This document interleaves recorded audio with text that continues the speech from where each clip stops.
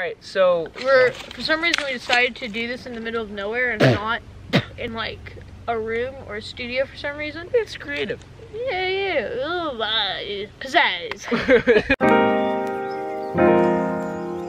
All right, um, so we're, we're, hi, yeah, we're Capture, Capture Studios. Studios. That's a, a name that's very original. Uh, Wick was definitely not intended to be submitted, but we actually, after looking at the footage, we really, really like it. We really tried to challenge ourselves to tell a story with lighting. We know this is a lighting focused contest, and we truly believe that it can tell a story on its own. and that's why we didn't just limit ourselves to umbrella lights. All the lighting we used kind of gave the film the feeling that it that you get when watching it. We wanted to make it more creative in a sense. And for all of the films we did, we really tried to tell a story with lighting. Our first one we tried was a little like kitchen fight scene, but you couldn't really do too much with lighting in that. Then we, we spent two weeks writing and producing a film called Lucky, right Young here. Lucky. Young Lucky, sorry. That one we were actually really happy about leading up to it. We even made, I don't know what the technical term is, but it's like one of those huge diffuser screens. We made one of those and hung it in my backyard um, completely from scratch. Yeah. And which actually worked really well did work for, really well. for lighting everyone Yeah. and kind of giving a weird feel to it. But due to some like acting limitations and stuff, we weren't able to fully finish that one. We definitely are going to use a script in the future. We also filmed one um, called Obituary, and that one was pretty interesting, except again with lighting, it was kind of hard to tell a story. Then we finally settled on Wick, and Nico, if you want to talk about what Wick really is. Okay.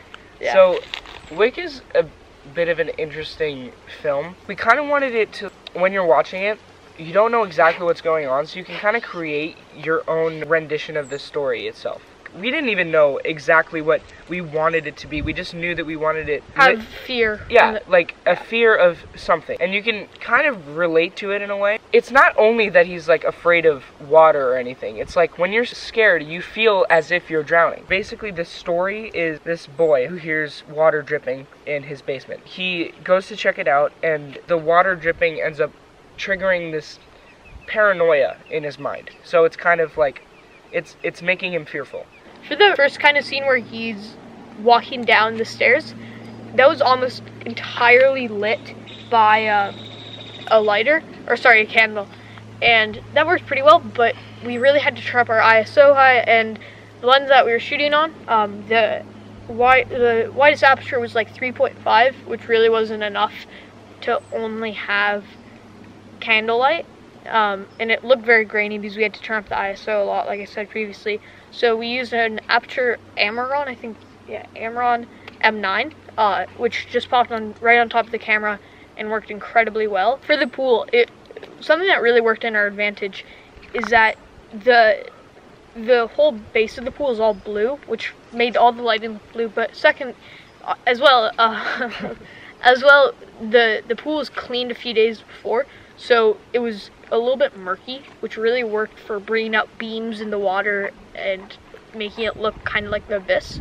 And to get overhead lighting, we set up um, a few just standard umbrella lights with reflective uh, Umbrellas. reflective umbrellas over the pool, and that brought in some light to the pool.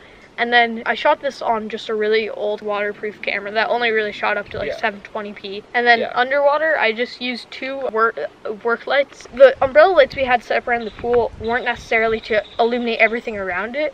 It was just to bring out the color of the water. And then the lights we had really illuminated Nico. We wanted to make sure that we didn't get any like walls or floor of the pool. Yeah. It wasn't meant to be like, oh, he fell into a pool. The whole thing is basically a metaphor and in his head until you see the last like two seconds. So we tried a lot of things, like I said, and Wick was our final result after about a month of trying many films. We hope that you um, really liked it, and Thank you Just- for the opportunity. Yeah. yeah, thank you for hosting. We were kind of into filmmaking before this summer started, but, But, this was yeah. really motivation. We're yeah, going to continue to try to build and keep making films, getting better, get, making more complicated stories. and keep buying Aputure products. Exactly.